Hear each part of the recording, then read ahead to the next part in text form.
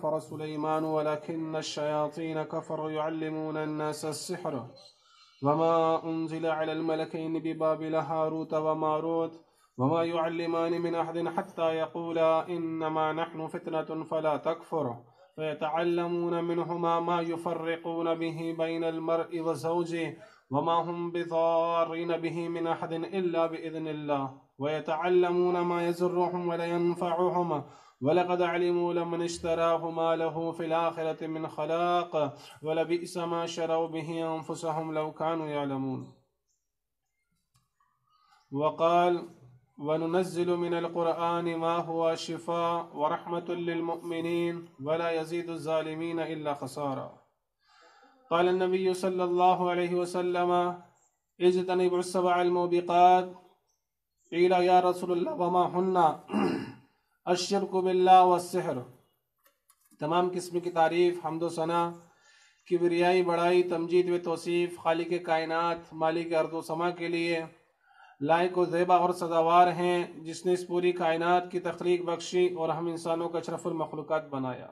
इतना ही बस नहीं, बल्कि कुरान करीम फ़ुरक़ान हमीद जैसी बाबरकत और मुक़दस किताब अता फरमाई हमदोसना के बाद दरुदसलाम नाजिल हो ख़ातमनबीन जनाब महमद रसोल्ला सल्लल्लाहु अलैहि पर, आपके आल असहाब पर। अल्लाह वसल्लम मुबारक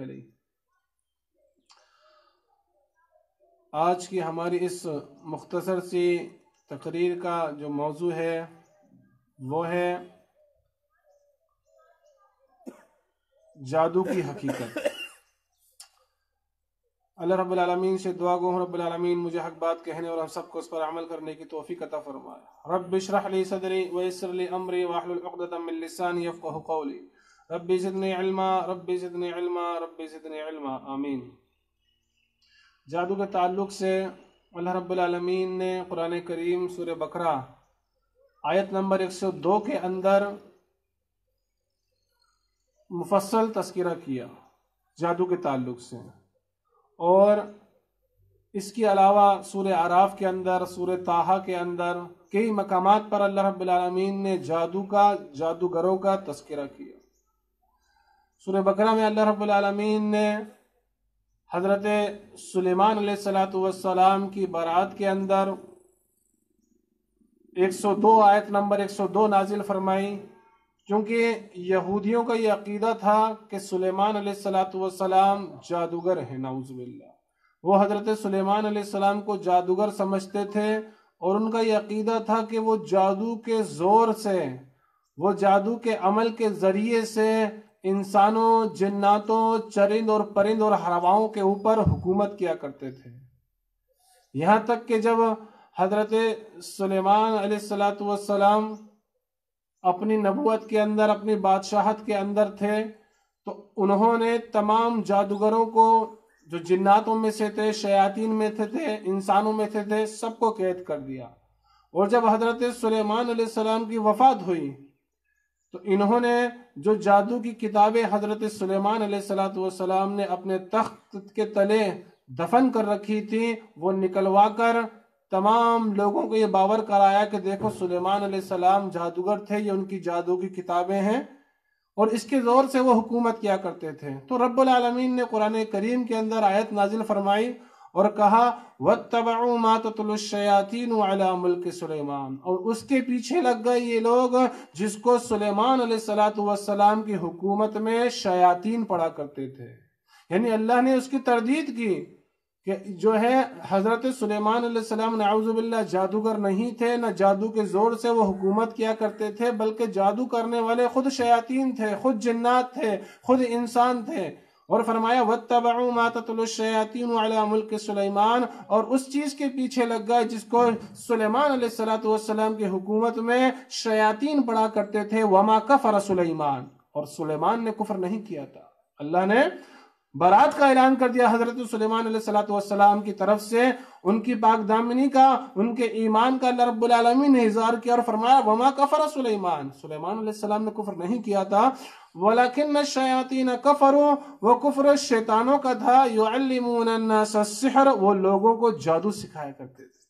तो यहाँ अल्लाह रब्बुल आलमीन ने वो अमल जो सुलेमान सलाम की हुकूमत में शयातीन किया करते थे उसका तस्करा किया और फरमाया, वो अमल जादू का था और वो शयातीन जादू सीखते थे और जादू सिखाते थे और जादू के अमल को यूज़ करते थे और उस जादू का अल्लाह ने यहाँ कुफर करार दिया। क्या फरमाया?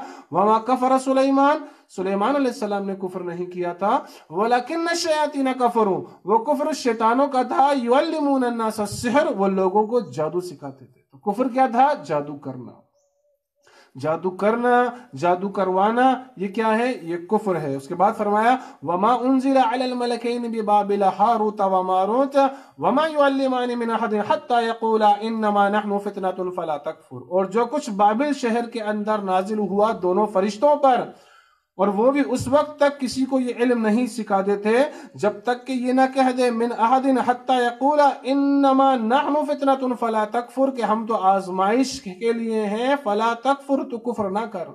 अल्लाह रब्बुल आलमीन ने बतौर आजमाइश बनी आदम की आजमाइश के, के तौर पर अल्लाह रब्बुल आलमीन ने दो फरिश्तों को ये जादू का इल्म देकर भेजा था कि ताकि अल्लाह आजमाए कौन तोहीद की तरफ़ आता है और कौन जादू की और कुफर की तरफ़ आता है। तो उन्होंने उस अमल को सीखा। तमाम जिन्नातों ने तमाम शयातीन ने उस अमल को सीखा और फरिश्तों ने कह दिया कि इन न मनानो फितना हम आजमाइश के लिए हैं। फला तकफुर तुम कुफर ना करो ये सीख कर ये कुफर है। यानी जब वो जादू का इलम सिखाते थे तो पहले बताते थे कि ये कुफर है और अल्लाह ने हमें आजमाइश के तौर पर भेजा है। तुम इसको सीख कर कुफर ना करो। तो ये बात यहाँ से वाजे होती है कि जादू कुफ्र है जादू करना भी कुफ्र है और जादू करवाना भी कुफ्र है। अब ये जादू का अमल किस चीज़ से होता है? ये जादू तंत्र और मंत्र से किया जाता है। ये कुफरिया और शिरकिया कलिमात के ज़रिए से, कुफरिया और शिक्रिया पढ़ाई के ज़रिए से ये जादू किया जाता है। और अल्लाह के नबी जनाब मोहम्मद रसोल्ला सल्लाम ने अहदीस के अंदर और अल्लाह आलमीन ने कुरान के अंदर इसका दूसरे मकाम पर इस तरह तस्करा किया, वमिन और गिराह के अंदर फूक मारने वालियों के शर से अल्लाह में तेरी पनाह में आता हूँ। यानी जब नबी करीम जनाब मोहम्मद रसोल्ला सल्लल्लाहु अलैहि वसल्लम पर एक यहूदी लबीद बिन आसिम ने जादू किया और अल्लाह के नबी परेशान हुए तो हज़रत जबरील सलाम यही दो सूरत लेकर आए और अल्लाह के नबी वसल्लम ने इन दोनों सूरतों की सूर्य फलक और सूर्य नास की तिलावत की, और वमिन शर्रफासात फिलौकद और इसके अंदर अल्लाह रब्बुल ने फरमाया, मैं पनाह में आता हूँ। ए नबी, आप अल्लाह की पनाह में आइए, हर उस चीज़ के शर से जो ये जादूगर या जादूगरनियाँ गिराह में फूक मारती हैं। तो जादू का अमल जो होता है वो तंत्र और मंत्र से किया जाता है और गिरा में फूक मारकर गिरा लगाकर वो अमल किया जाता है। और नबी करीम जनाब मोहम्मद रसोल्ला सल्लल्लाहु की हदीस जाम तिरमिद की हदीस से अल्लाह के नबी फरमाते हैं, मन अक़दा सहर वमन सहर फक़द अशरक वमन तअल्लक शैयन वकिल जिसने कोई गिराह लगाई, मन अक़दा उक़दतन थुम्मा नफस फिर उसमें फूक मारी, फक़द सहर उसने जादू किया।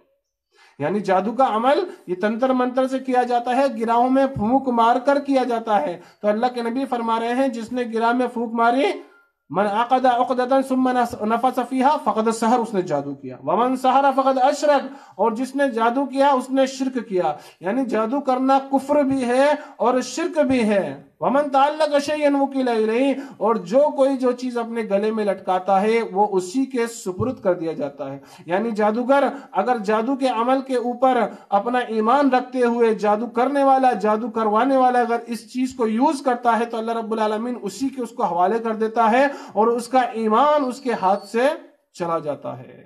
वो कुफर करता है, वो शिरक करता है, और इसका ईमान चला जाता है, और फिर जिस बीमारी के लिए जिस परेशानी के लिए वो गया है, उस परेशानी में, उस बीमारी में भी वो शिफायाब नहीं होता है। यानी ना तो दुनिया उसकी सुकून से गुजरती है, नो अना आखिरत उसकी सुकून से गुजरती है। और बाज दफ़ा तो क्या होता है? अपनी बीमारी के लिए नहीं, बल्कि दूसरे से हसद करके वो जादू करने जाता है कि फला को अल्लाह ने इतनी नेमतें दी हैं, बल्कि उसका गुमान ये नहीं होता, अल्लाह ने दी है।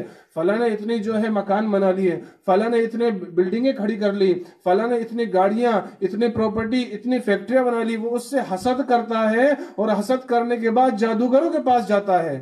या बाज लोग देखते हैं कि दो मियाँ बीवी हैं, शोहर और जोजा है, दोनों में बहुत बहुत मोहब्बत है और उनके घर के अंदर वो मोहब्बत नहीं पाई जाती उनके जो है शोहर और बीवी के दरमियान तो वो उनसे हसद करते हैं, उनसे जलन रखते हैं और जादू घरों के पास जाकर जादू करवाते हैं। अल्लाह रब्बुल आलमीन ने इसी आयत करीमा में आगे इरशाद फरमाया, जादू के ताल्लुक से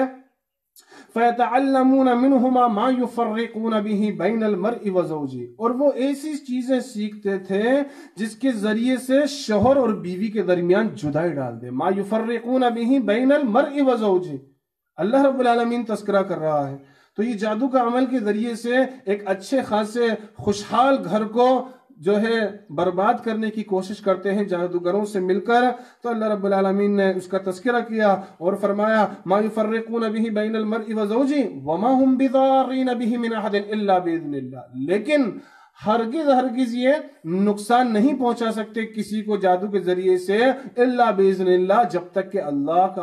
हुक्म ना हो। कितना बड़ा जादूगर हो।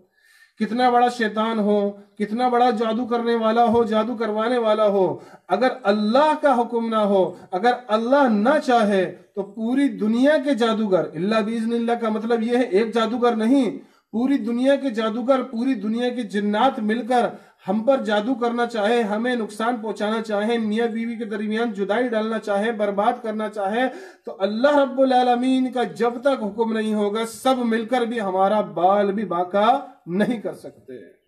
इल्ला बिइज़निल्लाह।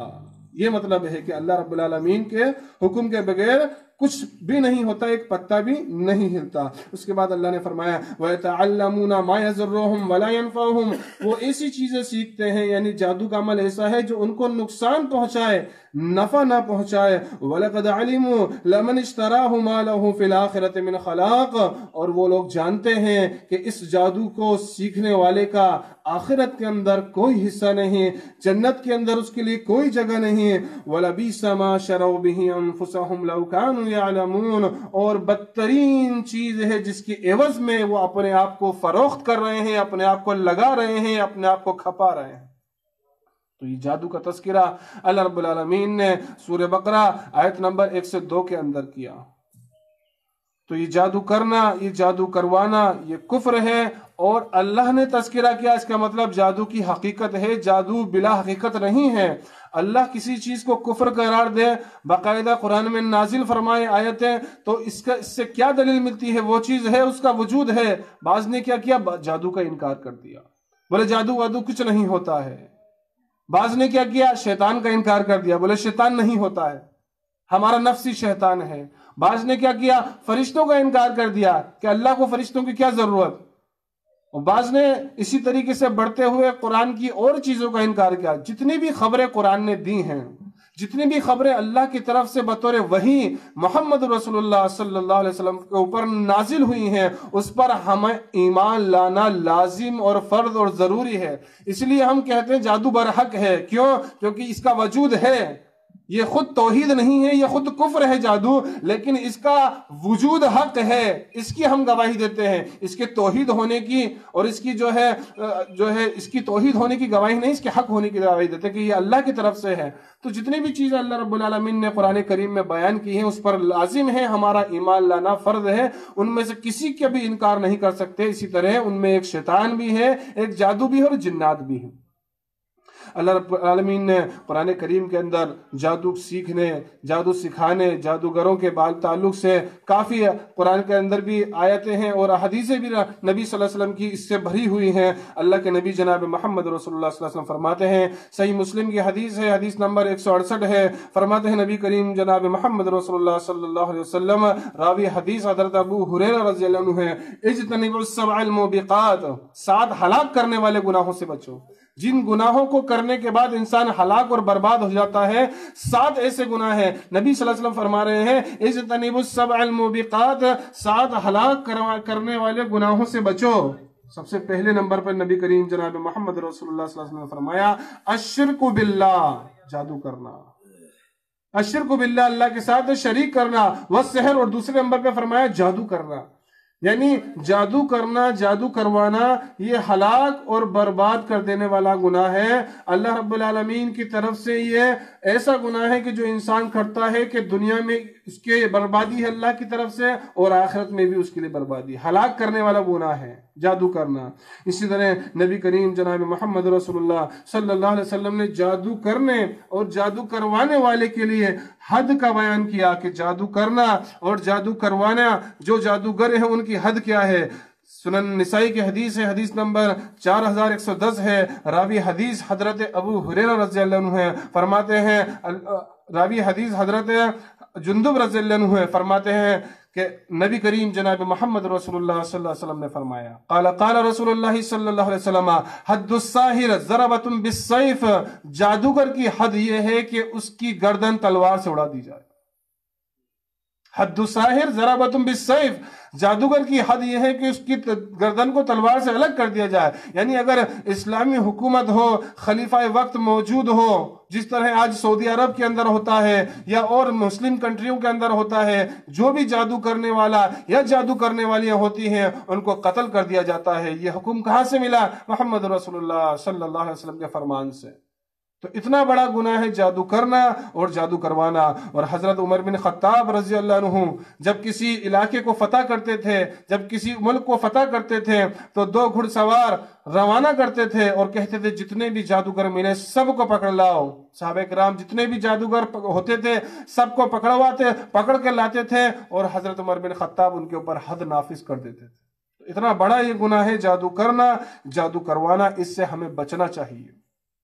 अब एक मसला ये है कि हमें, हमारे ऊपर जादू हुआ है।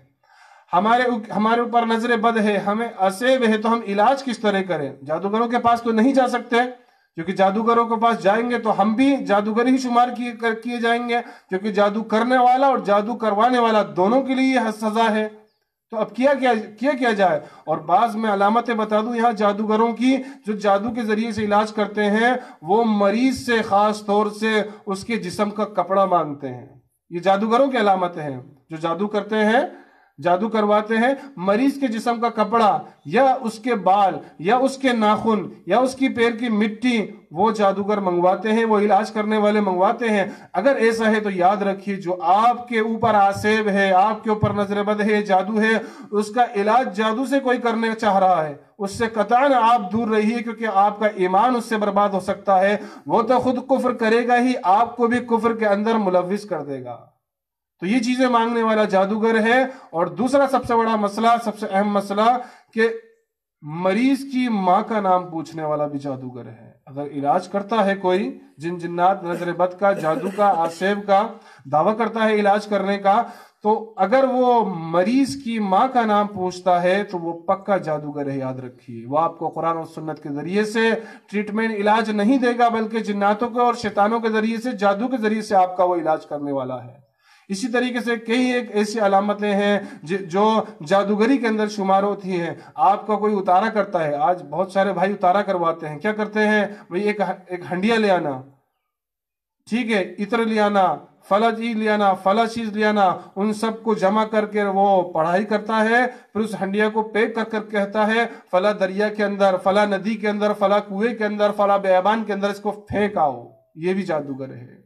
ये भी क्या है? ये भी जादूगर है। इसी तरीके से कोई ये कहता है कि फला जानवर को, फला बकरे को, काले बकरे को या काली मुर्गी को फला जगह, फला कब्रस्तान में, फला नदी के पास, फला कुएँ के ऊपर जाकर आपको जिबा करना है तो याद रखिए, ये भी जादूगर है। ये भी जादू करने वाला है, जादू का इलाज जादू से करने वाला है, आसैब का इलाज जादू से करने वाला है। अगर ये अमल हम करेंगे तो याद रखिए, एक तो कभी शिफा नहीं मिलेगी, उल्टा हमारी बीमारी के अंदर इससे इजाफा होगा।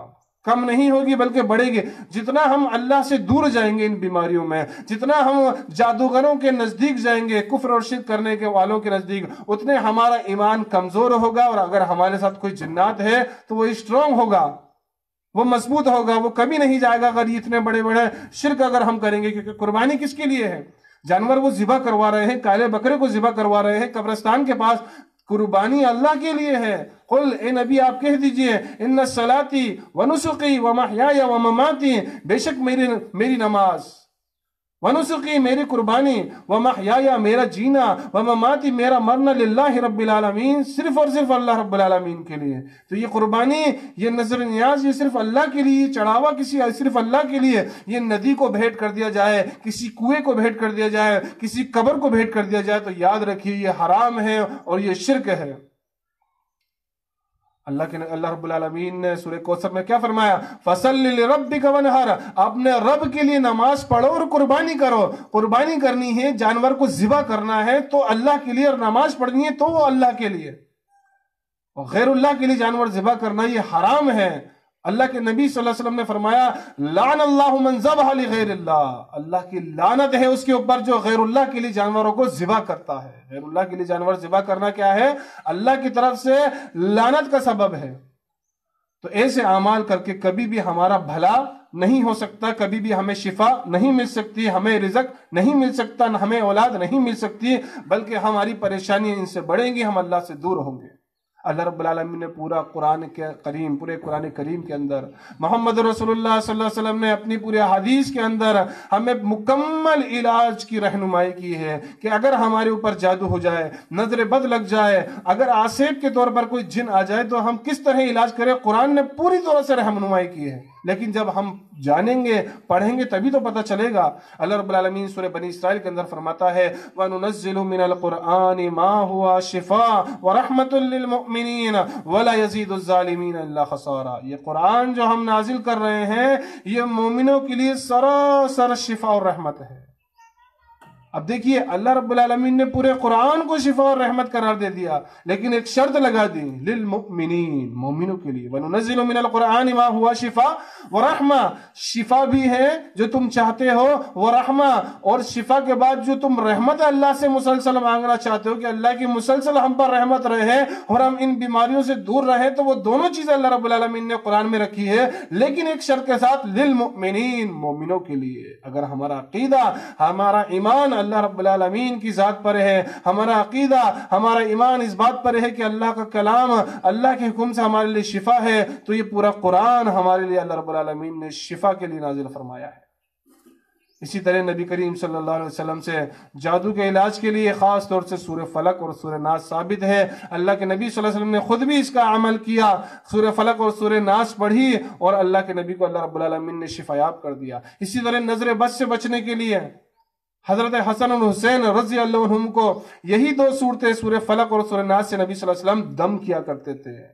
उनके ऊपर थुतकारा करते थे इनको पढ़कर। और नज़र बद से हिफाजत के लिए भी सूर्य फलक और सूर्य नास अल्लाह के नबी जनाब मोहम्मद रसोल्ला पढ़कर दम किया करते थे। तो जादू का भी इलाज है सूर्य फलक और सूर्य नास में, और नज़र बद का भी इलाज है। इसी तरीके से अगर किसी के ऊपर आसेब है, कोई मजनून हो चुका है किसी को जो है इस तरह से शिकायत हुई कि जिन्नात उसको इतना ज़बरदस्त तरह से पकड़ा है कि उसका दिमाग भी जो है हैक कर चुका है तो साहबा इकराम से ये साबित है कि उन्होंने सूर्य फातिहा के ज़रिए से उस मरीज़ को जो आसेब ज़्यादा था, जो मजनून था, दम किया और अल्लाह रबालमीन ने शिफा दी। सात मरतबा उन साहबी रसूल में सही बुखारी की हदीस है, आप खोल के देख लें। सात मरतबा अल्लाह के नबी वसल्लम ने जो है साहबा ने दम किया सूर्य फातिहा को पढ़कर अल्लाह रब्बुल आलमीन ने उससे शिफा दे दी। और मसला अगर हमारे घर का है, हमारे घर में हमें लगता है कोई जिन्नात है, कोई शैतान है तो नबी करीम जनाब मोहम्मद रसोल्ला ने फरमाया कि जिस घर में सूर्य बकरा की तिलावत की जाती है, उस घर से शैतान भाग जाता है। तो सूर्य बकरा घर के अंदर अगर कोई जिन्नात, कोई शैतान हमें परेशान कर रहा है तो सूर्य बकरा की मुकम्मल तिलावत करें इनशाला इस ईमान के साथ कि अल्लाह हमारी हिफाजत करेगा कुरान के ज़रिए से इनशाला उसके लिए कुरान काफ़ी हो जाएगा। इसी तरह अगर किसी को माल, जान, औलाद का नुकसान का डर है उनकी हिफाजत के लिए वो, कुछ नहीं कर पा रहा है। तो नबी करीम जनाब मोहम्मद रसोल्ला वसल्लम ने आयतल कुर्सी बताई है। अपनी जान और माल अपनी औलाद की हिफाजत के लिए हम आयतल कुर्सी पढ़ें। इन अल्लाह के नबी जनाब मोहम्मद रसोल्ला वसल्लम का फरमान है जो आयतल कुर्सी पढ़ता है अल्लाह उसकी जान की भी उसके माल की भी उसकी औलाद की भी हिफाजत करता है। यानी पूरा तरीका अल्लाह रबालमीन ने हमें कुरान में और मोहम्मद रसोल्ला ने अपने फरमान में हमें बता दिया है। बस मसला क्या है? हमारा ईमान उस पर हो। हमारा तवक्कल उस पर हो, हम उस ईमान और उस तवक्कल के ऊपर पहुंचकर इन चीज़ों को, इन सूरतों को, इन आयतों को यूज़ करें, पढ़ें, अमल करें रब्बुल आलमीन शिफा देने वाला है।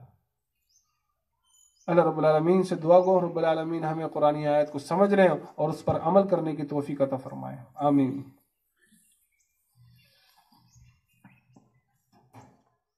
अब इंशाल्लाह